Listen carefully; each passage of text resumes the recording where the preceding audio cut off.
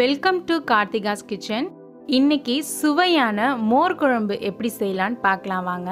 அதுக்கு தேவையான பொருட்கள் என்னென்னு பார்த்துடலாம். வெண்டைக்காய் கடலப்பருப்பு ரெண்டு ஸ்பூன் மல்லி ரெண்டு ஸ்பூன். இதை ஒரு மணி நேரத்துக்கு முன்னாடியே ஊற வச்சு வச்சுருக்கேன். பச்சை மிளகா அஞ்சு எடுத்திருக்கேன். உங்களுக்கு காரத்துக்கு தகுந்த மாதிரி நீங்கள் எடுத்துக்கோங்க.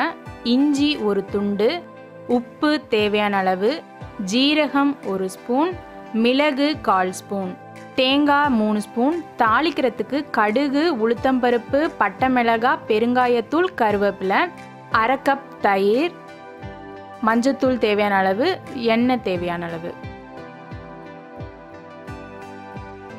இப்போது அரைக்கிறதுக்கு என்னென்ன பொருட்கள்லாம் போட்டு அரைக்கலான்னு பார்க்கலாம் வாங்க.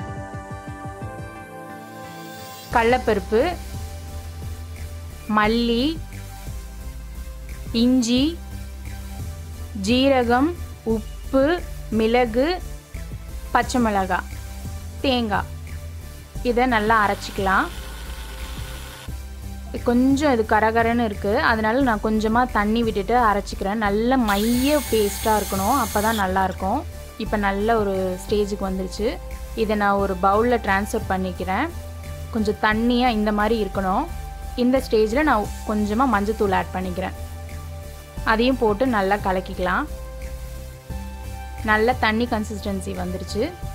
இப்போது நான் தயிர் எடுத்து வச்சுருக்கேன்னு சொன்னேன் இல்லையா? அந்த தயிரை வந்து நம்ம மோராக்கிக்கணும். அதனால் கொஞ்சமாக அதில் உப்பு தண்ணி ஆட் பண்ணிக்கிட்டு நல்லா அதை கலக்கி விட்டுக்கிறேன்.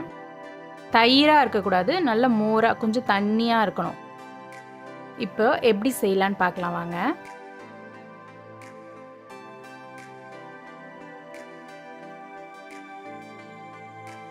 பேனை அடுப்பில் வச்சுட்டு ரெண்டு ஸ்பூன் ஆயில் ஆட் பண்ணியிருக்கேன். ஆயில் ஹீட் ஆனதும் வெண்டைக்காவை ஆட் பண்ணிக்கோங்க. நல்லா கொஞ்சம் அதை சாட்டே பண்ணிக்கோங்க.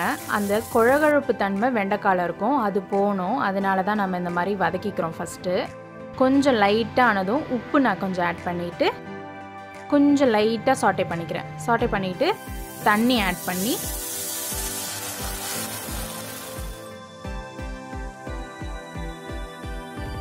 இப்போ பாருங்கள் தண்ணி ஆட் பண்ணிவிட்டு ஒரு கொதி வந்துடுச்சு இதோ இந்த ஸ்டேஜில் ஸ்டவ் ஆஃப் பண்ணிக்கலாம். இப்போ நான் அதை வந்து வடிகட்டி வச்சுக்கிறேன் வெண்டைக்காவை தனியாக திரும்பி அதே பேனை வச்சுட்டு எண்ணெய் ஆட் பண்ணிவிட்டு கடுகு உளுத்தம்பருப்பு ஃபஸ்ட்டு ஆட் பண்ணிக்கிறேன். அது கடுகும் உளுத்தம்பருப்பும் பொரிஞ்சதுக்கு அப்புறமா பட்டை மிளகாய் அதையும் ஆட் பண்ணிக்கிறேன். கொஞ்சம் லைட்டாக அது கலர் சேஞ்ச் ஆனதும் பெருங்காயத்தூளும் கருவேப்பிலையும் ஆட் பண்ணியிருக்கேன். இப்போது இந்த ஸ்டேஜில் நம்ம அரைச்சி வச்சுருக்க பேஸ்ட் வச்சுருக்கோம் இல்லையா? நல்ல தண்ணி ஸ்டேஜில் அதை இங்கே ஆட் பண்ணிக்கிறோம். இது இப்போது நல்லா கொதிக்கணும். ஏன்னா நம்ம எல்லாமே பச்சையாக ஆட் பண்ணியிருக்கோம். அதனால அந்த பச்சை வாசனை போகிற அளவுக்கு நல்லா அது கொதிக்கணும். மூடி வச்சுக்கலாம் இப்போது இப்போ பாருங்கள் நல்லாவே ஒரு கொதிச்சு வந்துருச்சு. எவ்வளோ நம்ம தண்ணியாக ஆட் பண்ணோம் எவ்வளோ திக்காகிடுச்சு பாருங்கள் உங்களுக்கு பார்த்தாலே நல்லா தெரியும். நல்லா அந்த எல்லோ கலர் வந்து அந்த மோர் குழம்புக்கான அந்த எல்லோ கலர் சூப்பராக இருக்குது இந்த ஸ்டேஜில் நம்ம வந்து வெண்டைக்காவை ஆட் பண்ணிக்கிறோம். வெண்டைக்காய் ஏற்கனவே நம்ம வேக வச்சு வச்சுருக்கிறதுனால ரொம்ப இதில் வேகணுங்கிற அவசியம் கிடையாது. ஒரே ஒரு கொதி வந்தாலே போதும். இப்போ நான் வெண்டைக்காய் ஆட் பண்ணி நல்ல ஒரு கொதி வந்தோடனே மோர் எடுத்து வச்சுருக்கோம் இல்லையா? அதை இதில் ஆட் பண்ணிக்கிறோம்.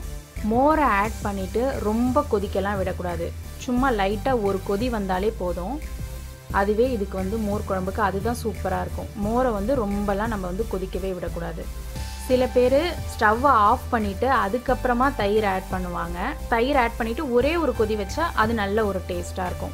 இப்போ சுவையான மோர் குழம்பு தயாராகிடுச்சு இதை நீங்களும் உங்கள் வீட்டில் செஞ்சு பார்த்துட்டு எப்படி இருக்குன்றத கமெண்ட் பண்ணுங்கள் லைக் பண்ணுங்கள் ஷேர் பண்ணுங்கள் மறக்காமல் கார்த்திகாஸ் கிச்சனுக்கு சப்ஸ்கிரைப் பண்ணுங்கள் தேங்க்யூ